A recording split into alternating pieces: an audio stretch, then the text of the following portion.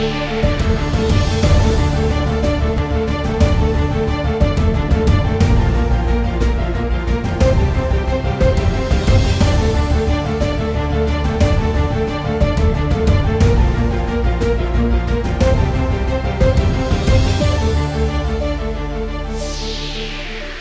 Wake News Radio, Wake News TV für alle, die aufwachen wollen. Neue Weltordnung, Versklavung, DIMS, Scraps, Schuldgeld aus dem Nichts, eingepflanzter Chip, Bargeld abschaffen.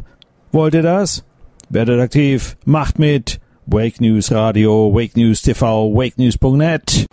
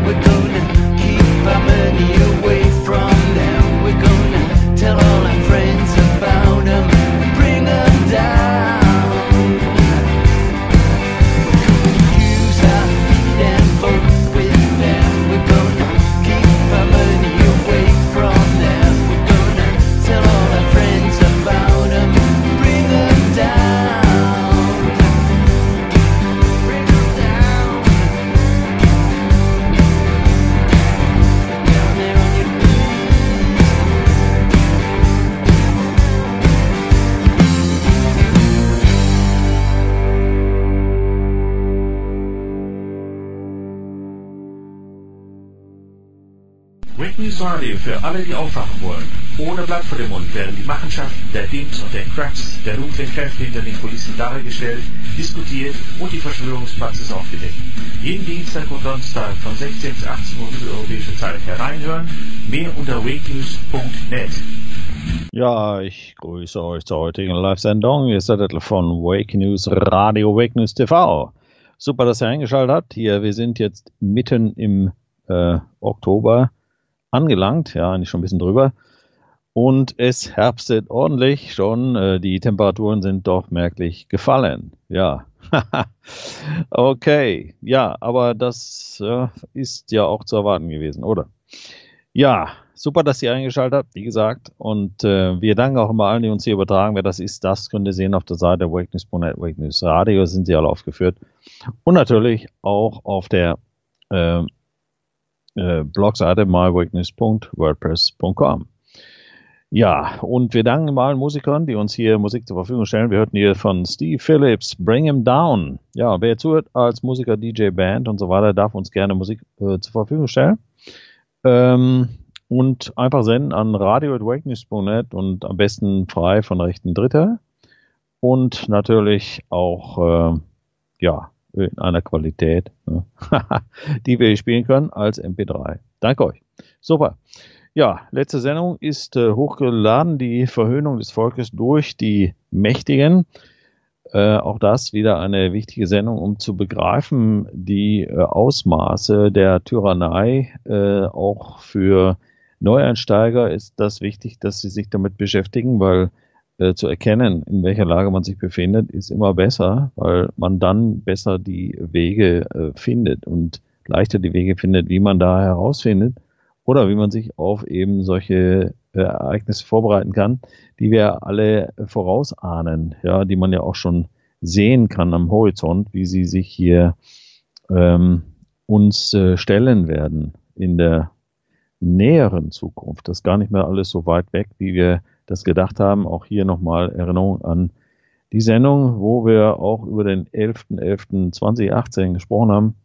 Der ist also jetzt nicht mehr so lang weg, äh, ohne natürlich zu wissen, ob tatsächlich irgendwas geschieht. Äh, ist zu erwarten, dass da vielleicht also in drei Wochen hier äh, die Hölle los ist. Ne? Nicht dann vergessen, das ist der 11. 11. ist ein Sonntag. Ähm, ein idealer Zeitpunkt, um irgendwas an den Bankgeschäftchen äh, zu ändern. Ja, es, es wird, wird, wurde da ja so vorher ausgesagt, dass man dort vielleicht einen, äh, eine Umstellung machen könnte. Wissen es natürlich nicht 100 Prozent, aber äh, besser man bereitet sich vor und lässt vor allen Dingen nichts auf, äh, auf seinen Kunden in, den, in den Banken. Zieht alles ab. Ich meine, die Leute, die hier zuhören, die wissen das ja schon längst, aber auch die, die jetzt immer noch äh, ihr Sparbüchlein da haben oder noch alles dort irgendwie, äh, ja, holt das von den Banken weg, weil dort gibt es nur digitale Ziffern und Zahlen, äh, nichts Werthaltiges. Also Bargeld ist zwar auch nicht wirklich was wert, aber man kann es wenigstens dann in der Hand halten und das, das damit äh, anfangen. Und oder aber auch diese Mittel verwenden, um äh, sich etwas Werthaltiges damit noch zu besorgen, solange das geht. Ja, egal was es ist. Und dann, äh, und dann einfach mal sehen, was, was kommt. Also ich meine, wir können es nicht hundertprozentig vorhersagen, ob da was passiert, aber die äh, Möglichkeiten zeigen darauf. Ja, okay. Also, äh, wer das noch nicht äh, gehört haben sollte, die letzte Sendung, die Verhöhnung des Volkes äh, durch die Mächtigen, darf das gerne tun. Wir haben das also bei allen unseren Videokanälen hochgeladen und natürlich auch bei unserem eigenen Makenews.tv, den wir aufbauen, Stück für Stück mit wenig Mitteln, natürlich mit so gut wie nichts, bauen wir das auf. Äh, wir sind ja eigentlich auch werbefrei. Ja, wir, wir machen keine kommerziellen äh, Werbegeschichtchen. Äh, wir unterstützen das ein oder andere Projekt mal und wer da Interesse hat, äh, auch sowas mal durch uns bekannt zu machen, wenn es zu uns passt, und oder aber eben auch, äh, sagen wir mal, unterstützenswert ist, sollte sich bei uns melden. Wir freuen uns dann immer über einen entsprechenden Leistungsausgleich in Form von Spenden. Ja, und das nochmal hier ein wichtiger Appell an euch. Wir sind immer noch nicht mit der Kamera so weit, also wer da noch ein bisschen uns helfen kann. Äh, und auch sonst für unsere weiteren äh, Aktivitäten, der äh, ist herzlich willkommen, uns etwas zuzusenden, am besten immer per Brief äh, eingewickelt in diese Alufolie, damit das nicht so durchleuchtet, werden kann. Das funktioniert, das haben einige gemacht und das kommt wunderbar an. Und wenn es ein größerer Betrag ist oder man auf Nummer sicher gehen will, darf das gerne also auch als Einschreiben zusenden. Ich meine, die Bankspesen sind inzwischen genauso hoch und Banken äh, wollen ja nicht, äh, dass wir hier unterstützt werden und haben deshalb also äh, dem Förderverein hier äh, sämtliche Kontoverbindungen äh, einfach gekündigt. Ja. Also im Moment können wir via Bank nichts äh, erhalten. Äh, das andere ist natürlich PayPal, kann man auch nutzen. Da sind wir also auch noch äh, drin. Also ist der die Vereinigung, die kann man also da äh, finden. Äh, überall sind da Links äh, verbreitet. Und natürlich auch durchaus hier unsere T-Shirts tragen mit unserer Bezeichnung wakeness.tv oder wakeness.net drauf oder ich bin Mensch und keine Person. Die gibt's in verschiedensten Varianten, nicht nur T-Shirts, sondern auch Kappen. Wird's wichtig für Regenzeit oder wenn der erste Schnee fällt, äh, schützt man seinen Kopf äh, vor dem Chemtrail-Regen. Äh, und ähm, natürlich auch die Übergangswaren, diese Jacken und so, die Zeit, trage ich jetzt jeden Tag, das ist ganz wichtig, auch mit der Haube und so. Ähm, äh, ist unwahrscheinlich gut. Und natürlich auch äh, Hosen und ach, was es alles gibt. Schaut mal beim laufdorf.de rein. Und hier auch noch wichtig, ich zeige es nochmal in die Kamera, ist äh, unser Sticker äh, ganz wichtiges äh, Mittel, um mit, äh, mit auf andere äh, zuzugehen und zu sagen, hier, guck das mal an. Man kann das verteilen, wenn man auf irgendwelchen Veranstaltungen sind oder an solche Leute hier verteilen, die man kennt. Oder aber auch aufs Auto kleben oder sonst wo. Im Briefkasten machen es viele, damit der Briefkasten, äh, der bewaffnete uniformierte Briefkastenträger ja, oder Briefträger, Briefausträger, dann schon Bescheid weiß, dass das also ähm, erkannt ist, dass er nur eine Puppe ist, die für die Firmen arbeitet. Okay, ja, das vielleicht. Und ähm, dann steigt doch mal ein. Hier die heutige Sendung habe ich äh, hochgeladen bei ähm, mywitness.wordpress.com mit dem Titel Leben in der Diktatur. Das könnt ihr äh, einfach finden. Rechte Maustaste auf einen der Links gehen und dann könnt ihr das mitverfolgen in der heutigen Sendung. Die Bilder sehen, die Texte und Videos und so weiter, was da alles zu finden ist. Ja, äh, Leben in der Diktatur. Ein, ja, ein, eine Erkenntnis. Man soll ja nicht warten, bis alles zu spät ist, sondern man darf ja schon anfangen, bevor es soweit ist. Oder wenn man äh, spürt, dass irgendetwas geschehen ist, sollte man darüber reden. Und wir dürfen uns darüber im Klaren sein, dass wir schon seit langer Zeit in diktaturähnlichen ähm, ja, Systemen äh, leben müssen, das heißt, das ist nicht eine Erfindung von heute oder jetzt hier vom Artikel, sondern das ist eigentlich eine Feststellung. Leben der Diktatur, das tun wir schon seit langer Zeit. Die einen oder anderen haben es intensiver erlebt als wir. Ähm, aber wenn man das alles mal durchdenkt, und das wollte ich heute mal mit euch sein wenig tun, das durchzugehen und äh, auch mit aktuellen Ereignissen zu vergleichen, festzustellen, dass das ähm, Wort Demokratie und was es da alles gibt und äh, Mitbestimmung und äh, ja, dass es äh, alle Macht geht vom Volk aus und all diese ganzen Geschichten oder souverän im Prinzip äh, Schlagwörter sind, die dürfen natürlich und sollen gelebt werden. Also souverän kann man nicht werden, kann man auch nicht irgendwo eine Urkunde kriegen und sagen, du bist jetzt souverän, sondern souverän, das, das, das, das bist du. Das äh, musst du sein dann bist du ein Souverän, aber das heißt nicht, dass andere das dann alles so äh, anerkennen und sagen, hm, sondern es ist umzusetzen. Das ist ein Kampf, in dem wir uns befinden. Ein kontinuierlicher Kampf. Freiheit äh, und Mitbestimmung und Souveränität muss jeden Tag erkämpft werden. Eine ganz wichtige äh, Erkenntnis, ja, in all dem. Wobei wir natürlich immer aufpassen müssen, in der Situation, in der wir leben, äh, weil wir ja in einer Diktatur leben, in dem System, dass man uns deswegen nicht gleich niederschlägt. Ja, wir dürfen so schlau sein, das so anzufangen, dass wir also dann auch dabei mit überleben.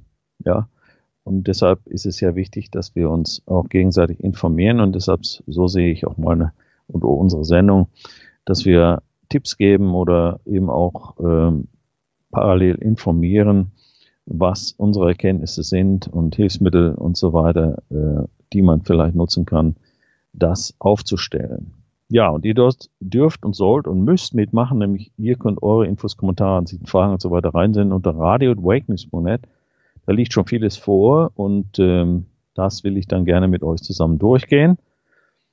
Auch äh, diejenigen, die zuhören, die irgendwelche wichtigen Termine angeben wollen, wir verbreiten das manchmal, wenn wir daran denken. Und deshalb ist es immer wichtig, weil man kann sich nicht alles merken, dass ihr, bevor also äh, ihr irgendwelche Termine habt, das mehrfach an uns nochmal zusendet, dass wir daran denken.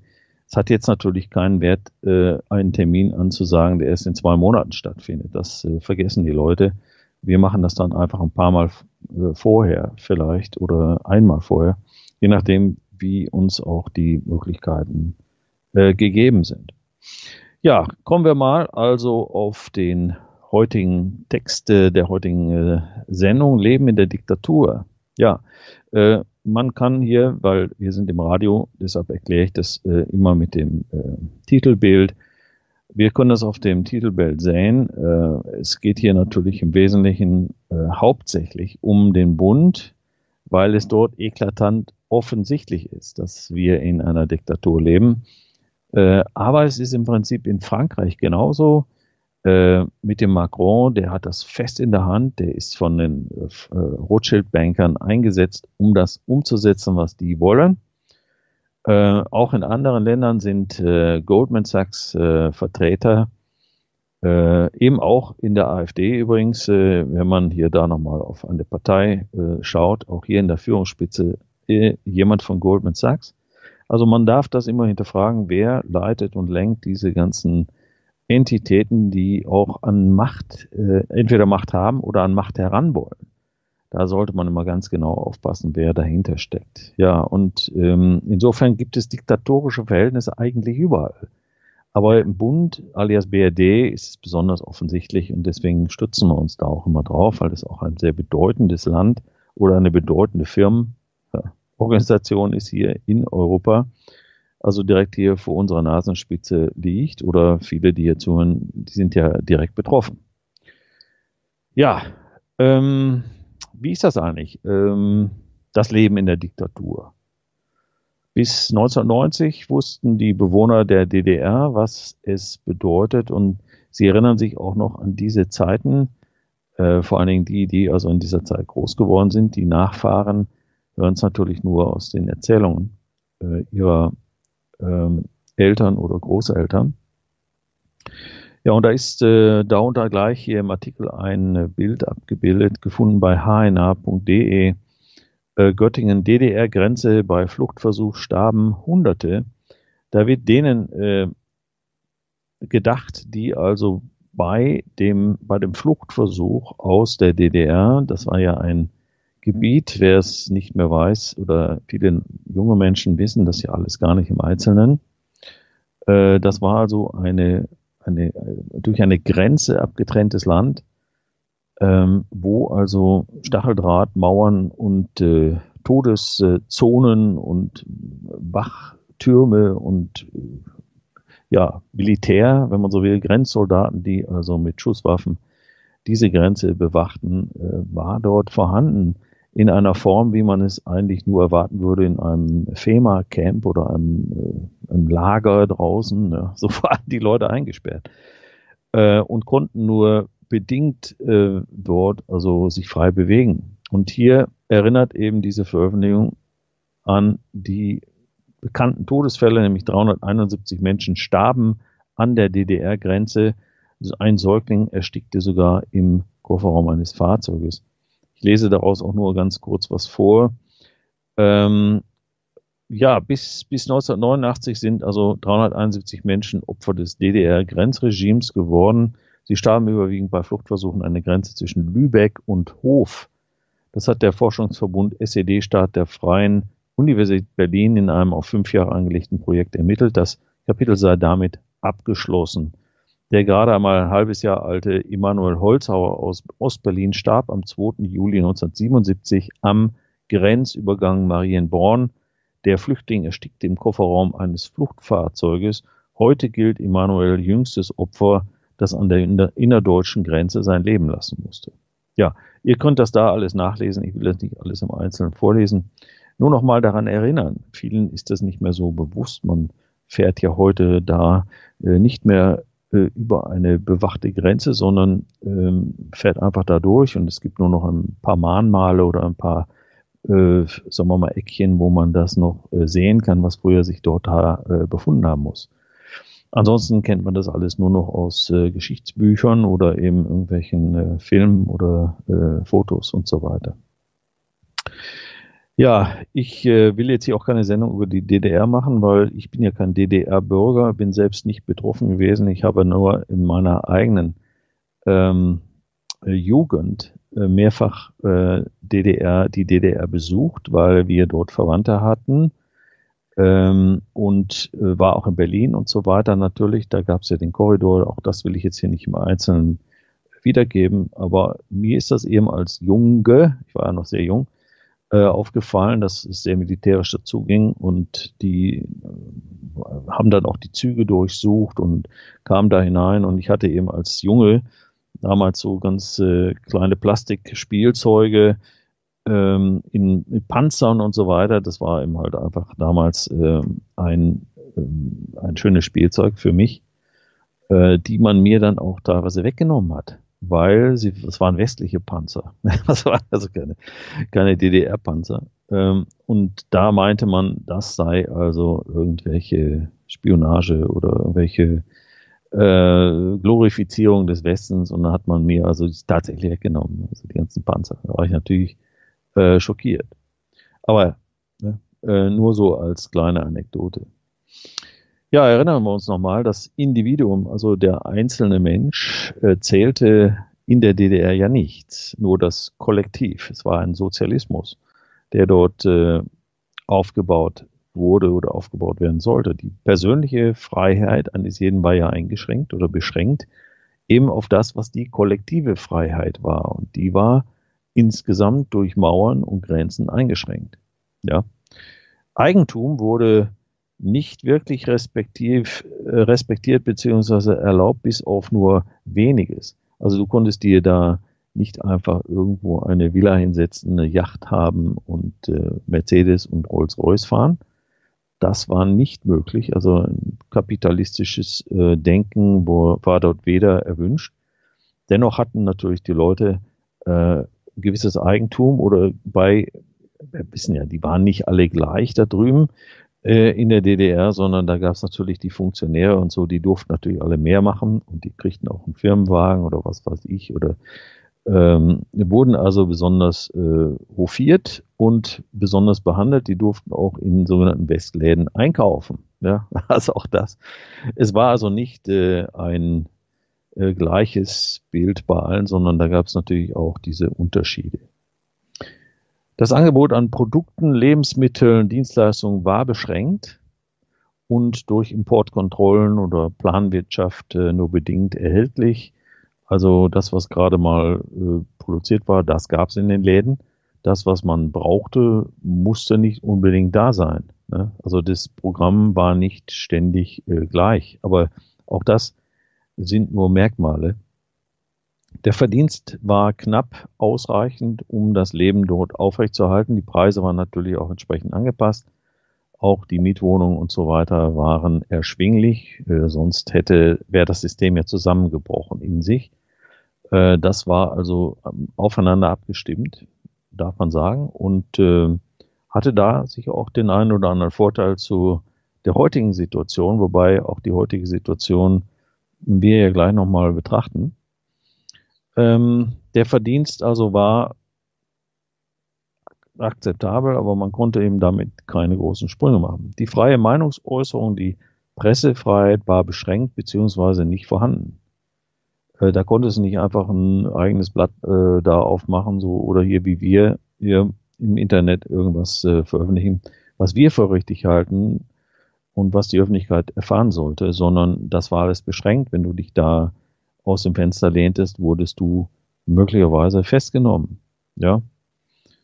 Ähm, Spitzel waren ja überall, um jeden zu überwachen und dessen Verhalten an die Behörden zu melden. Auch das habe ich mitbekommen da in der äh, meiner eigenen äh, Erfahrung, was da alles umging, wie die Leute miteinander umgingen. Da wurde getuschelt, da durfte man nicht über irgendetwas reden. Äh, und da wurde immer drauf gewarnt, äh, Vorsicht, das lieber hier nicht. Und so weiter. Man durfte auch kein Westradio oder Westfernsehen schauen, obwohl es natürlich viele trotzdem getan haben, indem sie einfach ihre Antennen da umgedreht haben. Aber wenn das auffiel, eben, das wurde genauestens beobachtet, äh, dann hatte man Probleme, dann kam vielleicht die Stasi. Ja. Eine oder der Rechtsweg war eingeschränkt, äh, limitiert. Eine Gegenwehr zu behördlichen Maßnahmen war ja quasi unmöglich. Ja. Äh, Gibt es die Parallelen zu heute auch, deswegen äh, ja auch das Thema. Ja, und der, die Reisefreiheit, äh, wie ich es von vorhin sagte, außerhalb der Grenzen des Staatsgebiets war eingeschränkt, genehmigungspflichtig. Auch wenn man aus dem DDR-Gebiet nach Berlin fuhr oder so, dann wurde das auch schon ähm, angeschaut. Ne? Also konntest dann nicht einfach nach Ostberlin bei, der Hauptstadt der DDR, konntest du nicht einfach so machen. Da, da wurdest du auch beobachtet. Ja, das konnte man also auch äh, innerhalb des eigenen Gebietes äh, nicht ohne weiteres uneingeschränkt reisen, aber vor allem natürlich außerhalb des sogenannten Staatsgebiets der DDR war genehmigungspflichtig. Der Schwarzmarkt blühte im Geheimen. Ist klar, wenn irgendwelche Dinge fehlten oder Leute irgendwas anbauten, wurde getauscht oder sonst wie gehandelt. Ähm, also ne, es, es, hat sich dann einfach äh, Menschen sind erfinderisch. Die versuchen dann einfach Lösungen zu finden. Ja, und die Gesetze und Verordnungen durch die Regierung mussten bedingungslos befolgt werden, sonst folgten drakonische Strafen, eine Gegenwehr, Petitionen oder sowas oder ja, Bürgerinitiativen, wie wir das kennen, äh, von heute waren nahezu unmöglich. Da wurde man gleich als Dissident gebrandmarkt. Ja, und an den Grenzen, wie wir es vorhin eingangs hörten, herrschte sogar der Schießbefehl. Das heißt, man konnte nicht einfach so fliehen. Ja. Allein schon diese Situation, äh, in der ja die Menschen jahrzehntelang gefangen waren, äh, klingt heute absurd, dass es sowas überhaupt gibt. Ja. Äh, muss man sich mal vorstellen. Aber es gibt sicherlich noch eine ganze Menge mehr und wer hier zuhört und da vielleicht noch mehr Punkte hat, darf die auch gerne reinsenden. Wir können sie auch gerne ergänzen oder auch Berichte, die das äh, noch besser darstellen, dürfen auch gerne hier als Link zugesandt werden. Also es gibt jede Menge Opfer des repressiven DDR-Systems, vor allem der Stasi. Und da habe ich jetzt ein Beispiel verlinkt, äh, was wir auch äh, auf breaknews.tv veröffentlicht haben, äh, wo jemand seine eigene Geschichte erzählt, seine eigene familiäre Geschichte mit dem Titel Stasi-Opfer aus der DDR heute, meine Geschichte und die Ignoranz der Politik, SED-Diktatur.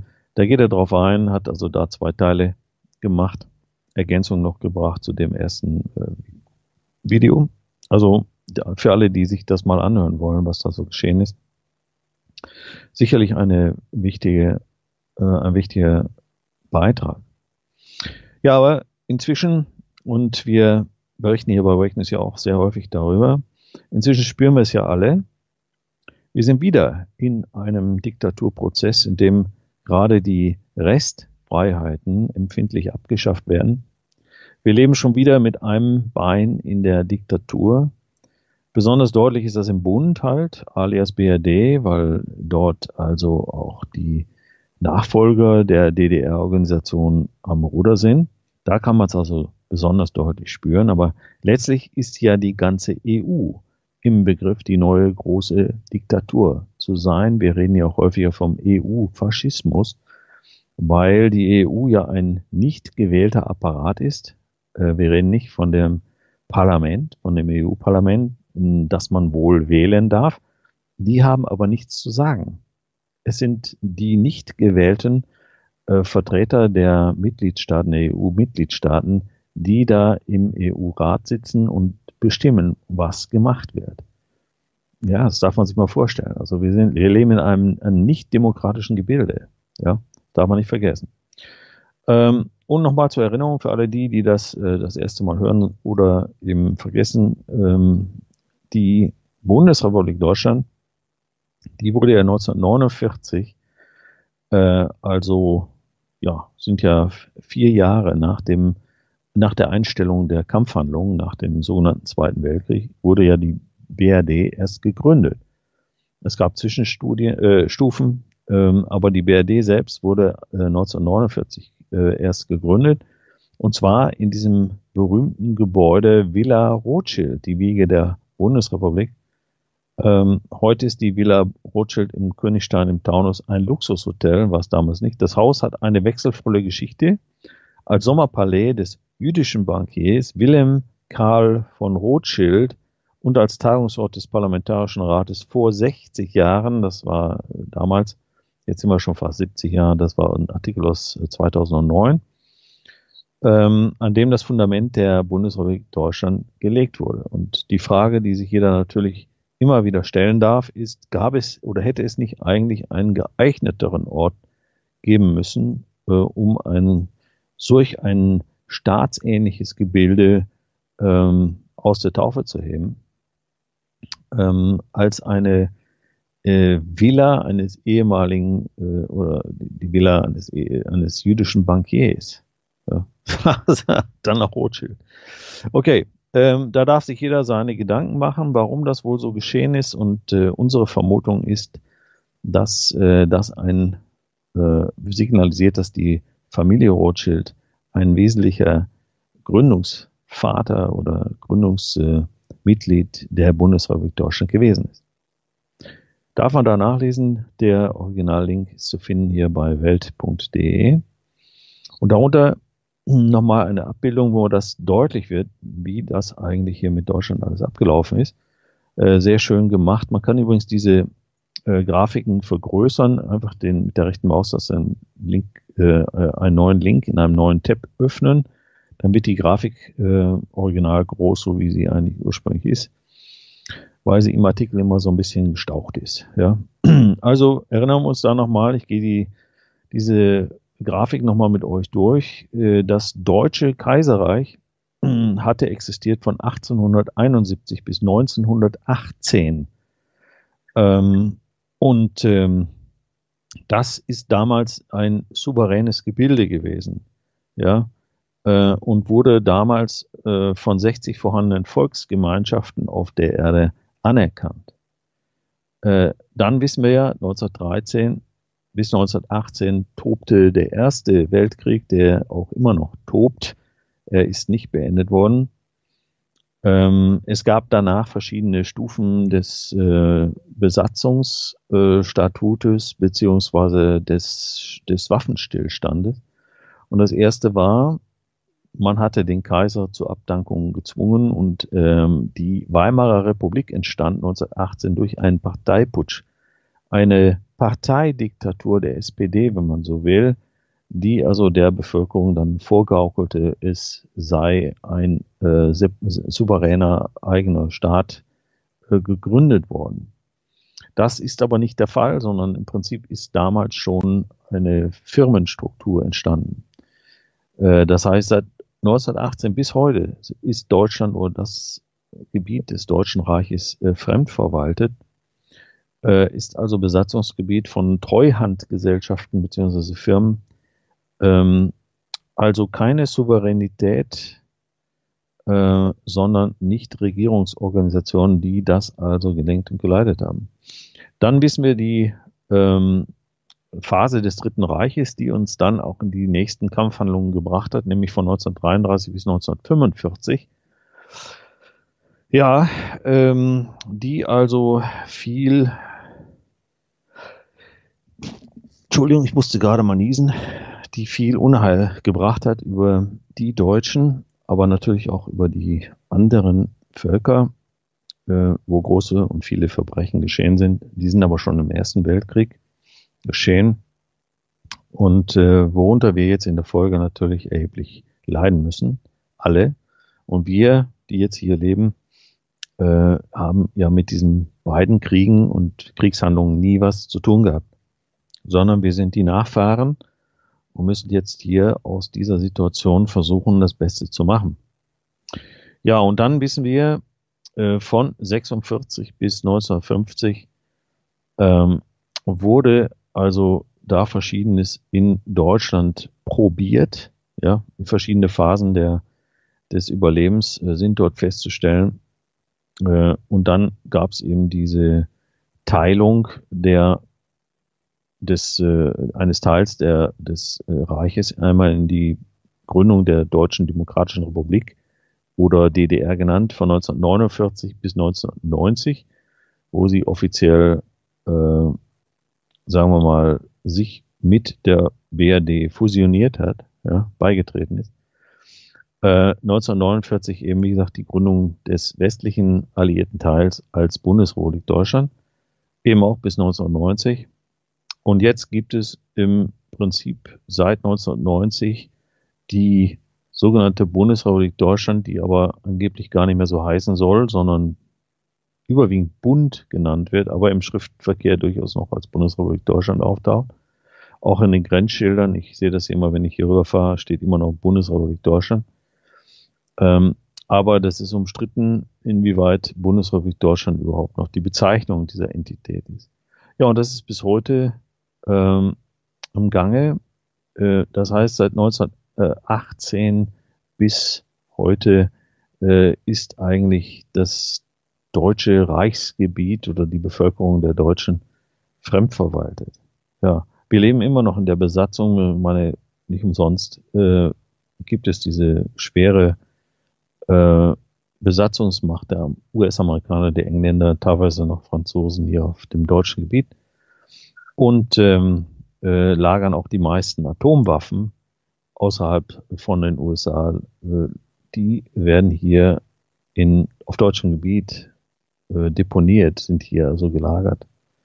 Äh, und auch von Deutschland aus oder von deutschem Gebiet aus werden täglich hier Kampfeinsätze der US-Amerikaner oder NATO irgendwo äh, geleitet, die ganzen Drohnenangriffe, die also stattfinden im Nahen Osten, Afrika und so weiter, wird alles hier von deutschem Gebiet aus gelenkt und geleitet. Also auch da wisst ihr im Prinzip Bescheid. Diejenigen, die hier zuhören, äh, häufiger wissen ja das alles schon, aber eben auch für die, die neuen Zuhörer ist das immer wichtig, da mal hineinzuhorchen, wie das eigentlich gelaufen ist. Ich fand diese Übersicht sehr sinnvoll und deshalb habe ich sie hier mit reingebracht. Alles eben auf einen, auf einen Blick zu sehen. Also im Bund, wie wir es ja gesehen haben, waren die Menschen auch nie wirklich frei, denn bis heute sind sie unter Besatzungsstatut. Denn nach dem Einstellen der Kampfhandlungen 1945 war das Leben auf deutschem Gebiet geprägt eben, wie gesagt, von Besatzung, Hunger, Not und Unfreiheit, vor allen Dingen am Anfang. Und nach der Gründung der BRD in 1949 als westliche Besatzungszone in der Villa des jüdischen Bankiers Wilhelm Karl von Rothschild entwickelte sich wieder ein Leben, in dem die Bewohner Freiheiten zurückerlangten und sich wieder Wohlstand entwickelte. Aber das ist hier ähm, auf dem äh, ja, niedergehenden Ast. Das heißt, hier geht die Kurve seit langem schon wieder herunter. Und ihr wisst, als der Maas hier noch zuständig war äh, als Innenminister, in Deutschland sind mehr als 6000 YouTube-Videos aufgrund der aktuellen Gesetzgebung gesperrt. Außerdem stehen über 900 Bücher auf dem Index. Dadurch hat Deutschland im Eiltempo Tempo Nordkorea abgehängt und steht weltweit auf Platz 1 beim Thema Internetzensur.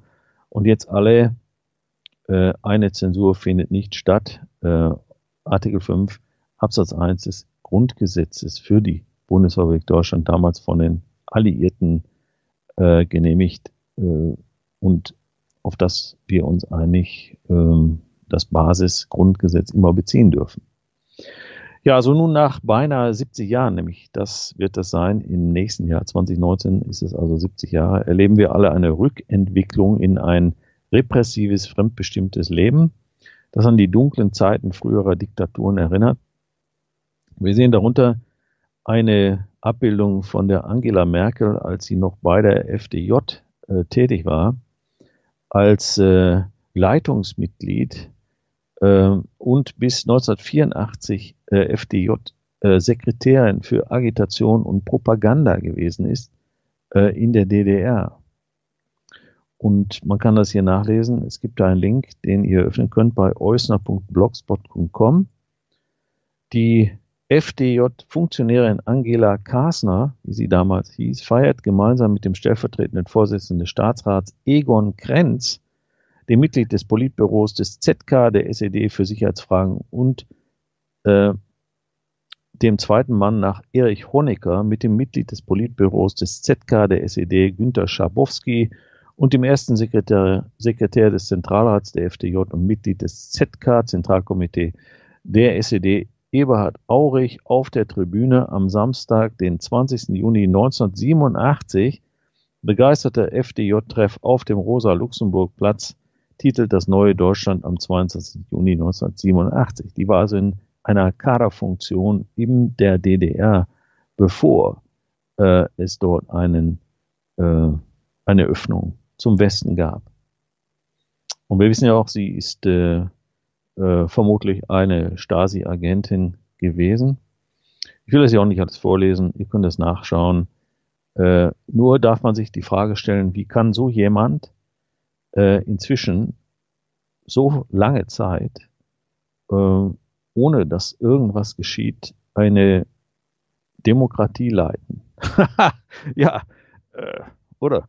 Äh, jemand, der das überhaupt erstens gar nicht gelernt hat ne, in seiner Zeit und ähm, eher genau das Umgekehrte gemacht hat damals, äh, nämlich äh, in einer Diktatur tätig gewesen ist.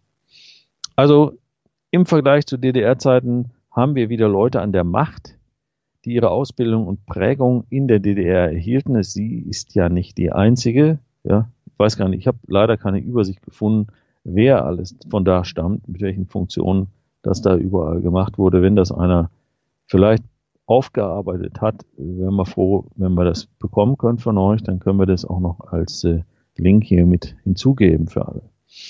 Ja, jedenfalls also äh, sind da Leute an der Macht jetzt hier im, in dem Bund oder an der BRD, die ihre Ausbildung und Prägung in der DDR äh, zu Diktaturzeiten erhielten und nun, so scheint es, Stasi-ähnliche Verhältnisse geschaffen haben, die das Leben im Bund schwer belasten.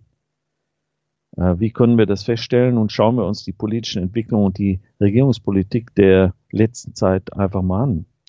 Erstens, die GroKo ist wie eine Einheitspartei, ähnlich wie zu DDR-Zeiten auch nur eine Partei der Regierung. Die Regierung stellte nämlich damals war es die SED, ist die GroKo, jetzt das Pendant dazu. Entschuldigung, die Meinungs- und Pressefreiheit wird derzeit erheblich beschränkt, wie es vorhin auch schon äh, kurz erwähnt wurde. Die Preisspirale hat neue Höhen erreicht. Die Einkommensmöglichkeiten sind schwieriger geworden. Es laufen Programme zur Einschränkung des Individualverkehrs, nämlich Dieselverbote, hohe Spritpreise. Es sind da auch wieder neue Erhöhungen angekündigt von Rot-Rot-Grün. Da kommen wir gleich dazu. Hohe Neuwagenpreise, Förderung von limitierten, teuren Elektrofahrzeugen. Dann auch die Enteignung des Volksvermögens Privatisierung ohne Volksbefragung. Das heißt, sämtliche Volksvermögenswerte, wie, äh, wie wir alle wissen, äh, sind privatisiert worden, sind so, beziehungsweise sollen privatisiert werden. Das ist eine quasi Enteignung ähm, und äh, uns oder dem Volk kommt ja nichts davon zugute. Im Gegenteil, sie müssen dann noch mehr dafür bezahlen. Denken wir an die Autobahngebühren, die jetzt auch noch irgendwann umgesetzt werden sollen. Dann die Militarisierung der Polizei, die also jetzt alle aussehen wie Dark Vader schon und äh, auch äh, Häuserkampf und äh, ja Aufstandsbekämpfung üben in ähm, Schnöggersburg, glaube ich, heißt es. Äh, das ist dieses milliardenschwere äh, Übungsgelände der Bundeswehr, wo aber auch andere NATO-Truppen drin üben können und natürlich die Polizei auch inzwischen solche Aufstandsbekämpfungsübungen äh, sogar teilweise zusammen mit dem Militär macht. Äh, viele werden ja auch von dem, äh, von dem israelischen Militär ausgebildet und so, äh, also ungeheuerlich. Dann Ablehnung von Volksbefragung. Das wird also äh, absolut hier äh, auf dem deutschen Gebiet untersagt. Politikmitbestimmung ist eigentlich auch weg. Dadurch, dass man delegiert an irgendwelche Parteien, hat man selber gar keine Einflussnahme mehr und Petitionen, die also einfach auch nicht zugelassen werden. Wir kommen da gleich nochmal dazu ein. Und äh, die regierungsgesteuerte Justiz, die Auflösung der Gewaltenteilung durch äh, neue Polizeigesetze, wo die Polizei alle Macht, Macht kriegt, die sonst nur Richtern oder sonst wie zustehen, äh, oder auch die bekannte Abhängigkeit der weisungsgebundenen Staatsanwälte oder Richter von der Politik. Dann keine Möglichkeiten gegen Amtsbehörden, Polizeiwillkür vorzugehen. Also geh mal vor Gericht und zeig mal einen an, das, du kriegst ein Aktenzeichen und dann wird das eingestellt. Ja. das ist so. Äh, dann äh, Ausgrenzung und Verfolgung von Andersdenken. Wir wissen diese Einführung der äh, Reichsbürgergeschichten, äh, dieses Märchens, was da also propagiert wird. Ähm, und die Maßnahmen, die gegen die Leute vorgenommen werden, die als Reichsbürger bezeichnet werden, obwohl sie es gar nicht sind oder auch nicht von sich selbst behauptet haben. Und jetzt ganz neu der Bevölkerungsaustausch, der international koordiniert ist, ohne Möglichkeit für die Urbevölkerung dagegen zu stimmen oder irgendwie Einfluss zu nehmen. Und vieles mehr. Ich, äh, da könnte man noch viele Punkte finden, die man noch hinzufügen kann. Das ist mir klar. Darunter ein Beispiel, wie ich es eben gerade erwähnt habe, Petitionsausschuss des Bundestages löscht Petitionen zum Migrationspakt. Das kam hier äh, bei journalistenwatch.com. Äh, ungeheuerlich. Äh, äh, das ist ja die Methode, die einem angeboten wird, hier also seine, seine kritische Stimme anzubringen. Das wurde beim Petitionsausschuss äh, des Bundestages, äh, wurde diese Petition, die die Unterzeichnung des Global Compact for Migration, also diesen Migrationspakt der UN, verhindern will, von seinen Internetseiten gelöscht bzw. nicht freigeschaltet. Nach Angaben des AfD-Bundestagsabgeordneten Hans-Jörg Müller ist die zuständige Verwaltung der Meinung, eine Veröffentlichung könnte den interkulturellen Dialog belasten. Ob dieser Akt der eben demokratischen Denken und der Grundidee des Petitionsausschusses des Bundestags diametral entgegensteht, auf Anweisung von oben oder aus vorauseilendem Gehorsam erfolgte, ist zur Stunde noch unklar. Also das ist eine Diktatur. Das ist eine diktatorische äh, Maßnahme. Ja? Das darf man so sehen. Ja, ihr könnt es nachlesen da äh, bei dem Link, ist äh, dort verlinkt. Ihr seht also, die Bewohner des Bund, alias BRD, stehen bereits mit einem Bein in der Diktatur. In der DDR waren die Menschen, obgleich zahlenmäßig in der Überzahl gegenüber der Regierung und den damaligen russischen Besatzern machtlos und ließen sich viele Jahrzehnte quälen, bis auf einzelne Fälle, die dann aber auch ordentlich äh, darunter leiden mussten. Heute haben wir im Westen, auch im Osten, einige Jahrzehnte der relativen Freiheit genießen können. Wir haben noch das Internet. Wir können etwas unternehmen, um zukünftige Diktaturen zu vermeiden. Warum tun wir es dann nicht? Wir sind aufgerufen, uns je gegen jegliche Einschränkung unserer Freiheiten zu wehren, unsere Interessen zu vertreten und dafür zu sorgen, dass derartige diktatorische Bestrebungen im Keim zu ersticken sind. Nur Freie Menschen werden in Freiheit leben können. Ja, das ist der Appell, den wir letztendlich auch irgendwo immer in den Sendungen mit angeben. Wichtig ist, äh, dass wir dazu keine, zu dem Widerstand keine Waffen in die Hand nehmen müssen. Unsere Waffen sind die, das Wort, die Öffentlichkeit, äh, Sendungen und äh, ja, das, das Weiterverteilen dieser Informationen, damit die Menschen aufwachen. Und wenn alle Menschen aufgewacht sind, dann hat ein solches diktatorisches System keine Chancen mehr, weil sie dann nur die offene Gewalt anwenden können. Und da ja die, die Mehrzahl der Menschen also wesentlich höher ist als das, was die einem entgegensetzen können. Wir haben darüber schon mal gesprochen, der Anteil eben der äh, Sicherheitskräfte dieser Diktatur sind äh, gemessen an der Gesamtbevölkerung minimal. Sie konnten natürlich Unheil anrichten mit ihren äh, Massenvernichtungswaffen, das ist auch klar, aber wie wollt ihr leben? Versklavt in Ketten äh, in der Diktatur oder in Freiheit und dafür eben auch mal äh, etwas riskieren. Ja, das war eigentlich so der ähm, die Essenz mal der heutigen Sendung. Äh, ihr könnt und sollt eure Infos und Kommentare anziehen, Fragen und so weiter reinsenden unter radio.awakenings.net. Das fiel da. Wird mal schauen, was ich davon noch in der Sendung mit reinnehmen kann. Ähm, ja, äh, es gibt hier also zum Beispiel politonline.ch Baustein und Baustein zu unserer Vereinnahmung durch U, äh, UNO-Dekret. Sie kommt auf leisen Sohlen, aber ziehe sicher die Bedrohung, die dem europäischen Kontinent den Gnadenschuss geben kann, der UN oder UNO Migrationspakt Global Compact, der einmal unterzeichnet die Migration legalisiert, anstatt sie mit allen Kräften zu tilgen. Ja, das ist eine große Gefahr. Ich gebe euch den Link später nochmal rein, um alles nachzulesen. Wir können leider jetzt nicht in jede Veröffentlichung äh, vollends einsteigen. Sieg, Sieg, Sieg. Hunderte Afrikaner stürmen erfolgreich Grenze ähm, von Marokko aus äh, in, zur äh, Exklave Melilla zu kommen. Spanische Zeitungen berichten, dass der Angriff auf die Grenze am Sonntagmorgen stattfand und vor allem von jungen Männern aus Ländern südlich der Sahara verübt wurde. Äh, da war ja auch äh, Angela Merkel vor kurzem und hat dort eine Rundreise gemacht bei, diesen, bei einigen afrikanischen St äh, Staaten und ja, kann sich nur vorstellen, was dort geschehen ist. Das kam bei philosophiaperennis.com. Äh, bitte da nachlesen. Dann willenlos. Merkel knickt vor Trump ein, Schweizer Morgenpost. Kam das Merkel öffnet Deutschland für amerikanische Gaslieferungen. Damit knickt sie wieder einmal vor den Amerikanern ein und biedert sich an.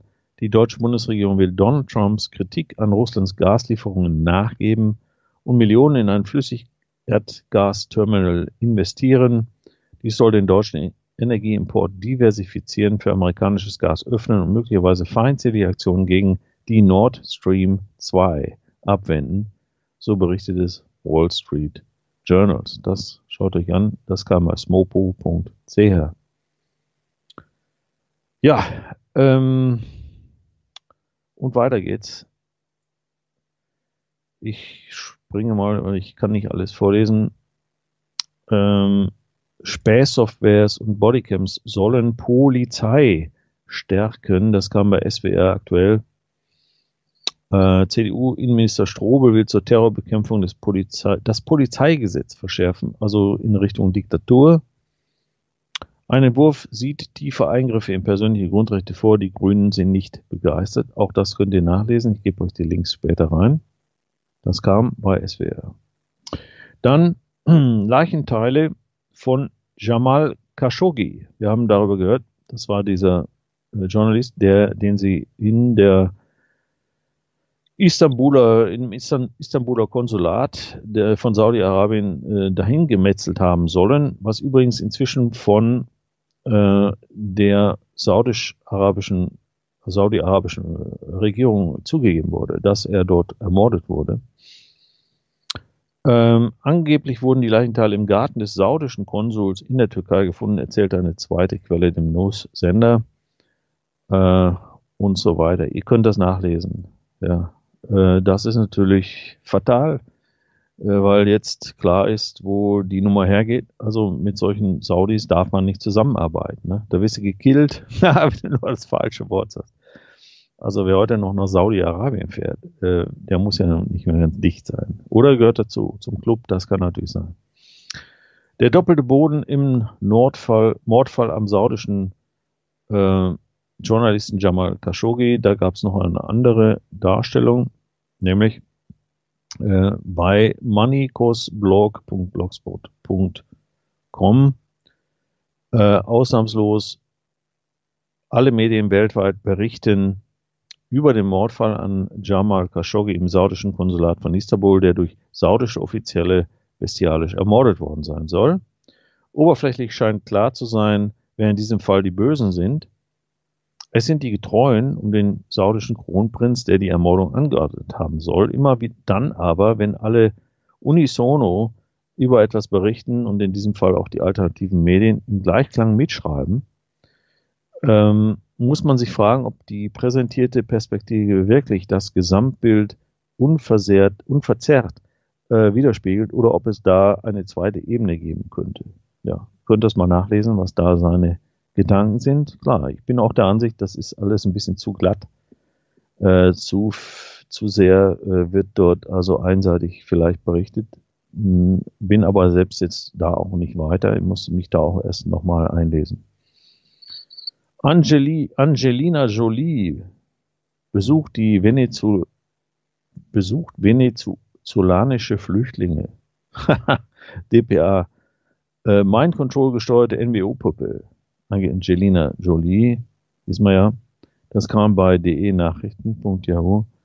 Angesichts von Hunger, Gewalt und politischer Unterdrückung, ja, seit vielen Jahren schon engagiert sich der Hollywood-Star und jetzt hat Angelina Jolie ein Lager in Peru besucht, ja, und so weiter. Könnt ihr nachlesen. Ja. Migrantenjournalisten kritisieren Bildberichterstattung. Äh, und zwar kam das bei jungefreiheit.de. Die türkischstämmige Journalistin ist Vorstandsmitglied der neuen deutschen Medienmacher. Der, der sichtbare Rechtsruck wird bedenklich kleingeredet. so ist klar. Also wer sich da irgendwie auch nur negativ äußert, der ist äh, schon äh, auf der Beobachtung äh, durch diese Leute. Die gehören ja auch alle zum sogenannten Deep State, das darf man nicht vergessen. Auch noch wichtig, äh, es wird immer deutlicher, dass hier die Leute verarscht wurden, ja, nämlich die Essener Flüchtlingsbürgen sollen zahlen. Auch das haben wir schon vermeintlich woanders gehört. Also in NRW ist das so, dass wenn jemand gebürgt hat für irgendwelche Flüchtlinge, äh, die werden jetzt zur Kasse gebeten. Das war vorauszusehen. Das sind natürlich alles Leute, die von, die so in irgendeiner Traumwelt leben. Nannten die auch mal Gutmenschen und so. Ne? die kriegen jetzt ordentlich aufs Dach. Dann hier noch eine interessante Veröffentlichung. Ist Massenmigration gegen göttliche Rassenvielfalt? Brisante Aussagen eines Tempelritters. Auch das mal interessant zu lesen. Das kam bei Epoch Times. Ähm, zu finden immer auf der Seite wakenews.net News. Da sind sie immer die aktuellen Informationen drin. Dann will der Spahn, auch wieder einer von diesen Bilderberger äh, Diktatur-Heinis da im Bund, der für Gesundheit jetzt äh, zuständig ist und äh, alles schlimmer macht als schon war. Organspende ein christlicher Akt der Nächstenliebe, behauptet er. Was nichts anderes ist als letztendlich ein Aufruf zur Organplünderung. Naja, und, äh, und so weiter. Ja, ich sehe, wir kommen langsam zum Ende der heutigen Sendung. Noch vielleicht ein anderer Hinweis, Goldpreise steigen an, Vorbote des geplanten Crashes, äh, Crash, das haben wir ja schon gesagt, äh, 11.11.2018 vielleicht. Auch hier zum, ähm, zum Migrationspakt oder äh, diesen äh, unseligen auf uns zukommen von Massenmigration, ist hier auch nochmal das U äh, Original UN-Dokument auf Deutsch zu finden, wenn man das mal tiefer nachlesen will.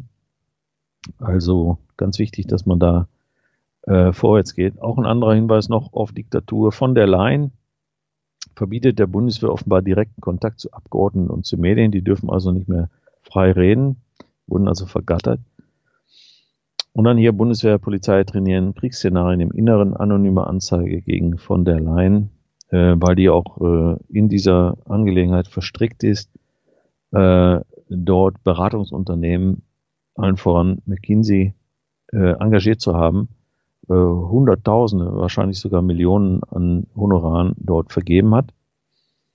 Und befremdlich, einer ihrer Kinder ja, ist dort auch beim McKinsey tätig. Da ist jetzt also ein Verdacht auf Vorteilsnahme oder Manipulation, Korruption oder so gegen von der Leyen ausgesprochen worden. Ja, ach, was ich euch noch alles vorlesen könnte hier. Ihr könnt euch das vorstellen. Es gibt so viele Informationen, dass es äh, sehr schwer ist, immer alles irgendwie äh, zu erfassen. Äh, deswegen können wir gar nicht alles berichten. Wir versuchen die Punkte herauszugreifen, die uns ähm, auffallen und die auch in einem Thema zusammenzufassen, so dass man auch die Zusammenhänge äh, erkennen kann. Das heißt, die Punkte zu, verbinden kann, wo man dann sieht, wo der rote Faden ist. Und das hoffe ich, äh, konnten wir in puncto Diktatur heute leisten. Natürlich bleibt immer alles in dieser Oberfläche. Man darf dann tiefer einsteigen. Die Links sind ja alle vergeben. Äh, ich lese dann immer mit Verwunderung auch, äh, wenn Leute auf den Videos dann kommentieren, ja, äh, und ihr meint jetzt im Internet äh, würde nur die Wahrheit heraus äh, oder geschrieben oder verkündet. Nein, das ist nicht so. Äh, aber wir jetzt bei Wake News versuchen immer zu allen Aussagen, die wir machen, sofern wir sie nicht als eine, ähm, eine Hochrechnung oder als eine Hypothese formulieren, äh, immer die Links dazu zu geben. Und das ist zum Beispiel etwas, was man im öffentlich-rechtlichen nicht findet. Da gibt es keine Quellenangaben. Ja? Also in den, in den seltensten Fällen. Ähm, obwohl vielleicht das eine oder andere tatsächlich abgesichert sein mag, aber dort werden die Quellen nicht genannt. Wir nennen unsere Quellen. Und das darf man dann gerne und muss man immer selber nachprüfen, weil auch wir können mal falsch liegen. Ja. In dem Sinne, danke ich euch und danke euch vor allen Dingen auch, wenn ihr uns unterstützt. Und zwar Wake News braucht eure Unterstützung, damit wir als unabhängige, nicht kommerzielle Medienplattform überleben können. Und das wird uns auch nicht leicht gemacht. Wir äh, leben auch so vom Tag in den Tag hinein. Äh, wenn wir was kriegen, können wir damit was bezahlen. Wenn wir nichts kriegen, liegen wir auf dem Trocknen, können dann natürlich auch nicht so viel tun. Also wäre super, wenn ihr das machen könnt, die, die es sich leisten können ähm, oder leisten wollen. Und bitte schaut rein beim lauftafel.de. Ganz wichtig, auch nochmal der Hinweis, äh, es gibt diese beiden Bücher, die wir der Familie gegenüber hier auch immer propagieren, äh, die man sich noch anschaffen darf. Äh, eigentlich vergriffene Werke des äh, äh, Siegfried Werner äh, Munk und zwar mit dem Titel Michael gestern und morgen und die andere, das andere Buch Frage an Christian Rosenkreuz. Und die kann man da direkt bei der Familie bestellen. Also ihr findet diese Angaben da unten immer in unserem in unserer Artikelbeschreibung unten bei den Links. Schaut da mal rein, weil das sind natürlich alles äh, hochinteressante Bücher. Äh, wir dürfen auch Geistiges investieren, also in Geistiges investieren. Also in dem Sinne, seid ihr vom Wakens Radio, Wakens TV. Wir sehen uns vermutlich am kommenden Donnerstag oder hören uns, äh, wenn nichts dazwischen kommt. Ansonsten, ja, äh, werde ich das versuchen, das Video so schnell wie möglich euch zur Verfügung zu stellen. Danke euch Super, dass ihr da wart. Hören jetzt ausgangs noch äh, von äh, Mozart-Dampfer Raider. Und während wir umspulen auf die Wiederholung, hören wir einmal von Stimmen vom Saturn, also das Stück Stimmen vom Saturn von Kinder des Lichts und von PM Beats Lay Down. Und nochmal der Hinweis, schaut immer mal bei wakeness.tv rein, das sind hochbrandheiße Videos die teilweise auch äh, bald gelöscht werden. Äh, Schaut es euch an. Äh, auch interessante Informationen über das, was im Himmel vor sich geht, mit der Sonne, was auf dem Mond passiert, auf dem Mars äh, und was da alles geschehen ist. Also ungeheuerlich, was kann man gar nicht alles berichten. Äh, da müsst ihr mal selber äh, schauen. In dem Sinne, ihr von Wakeness Radio, Wakeness TV. Wir hören uns. Bis dann. Ciao, ciao. make me crazy, insane. That's how I feel. That's how I feel. Insane. You make me crazy, make me crazy. Insane. That's how I feel. That's how I feel. Just a rider. I got it all locked to keep the hood on smash. When you see me coming, don't ask who am I. Just a 50 on the dash lemon in. Riding all night, no mask for the task, just a rider. Yeah, I'm just a rider. Hit me on deck, Chevy with the kid. See me riding past, they looking at the kid, just a rider. Yeah, I'm just a rider.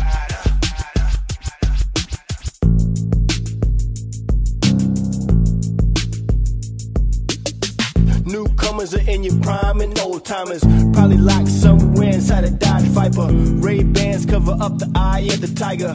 For my who, uh, yeah. for my what, this is for my riders.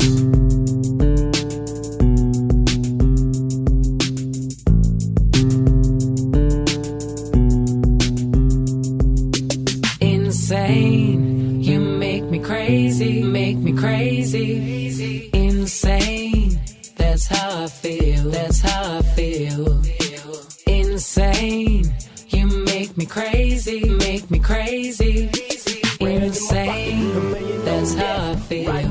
sunset, you bet i just a rider.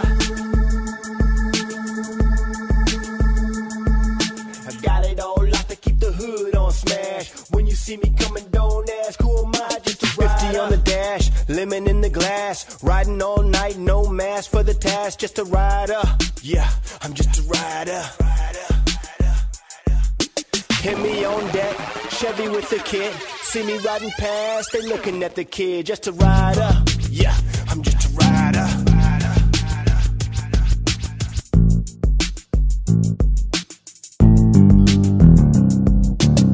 Newcomers are in your prime and old timers probably locked somewhere inside a Dodge Viper. Ray Bans cover up the eye of the tiger. For my ah, homies, Oh, yeah. for my what, is for my riders.